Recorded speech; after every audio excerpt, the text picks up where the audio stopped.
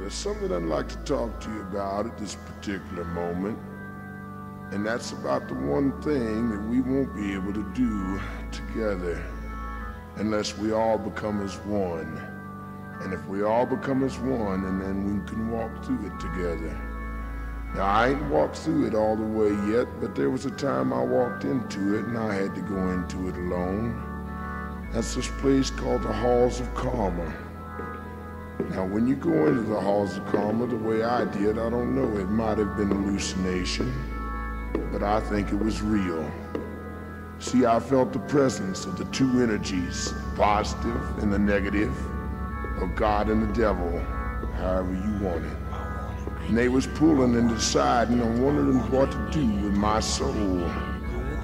Now I couldn't take this at this moment because I had to come back to be with you people do a thing. And I proved to them in bargaining with them that I had a thing to do for the good of all of us.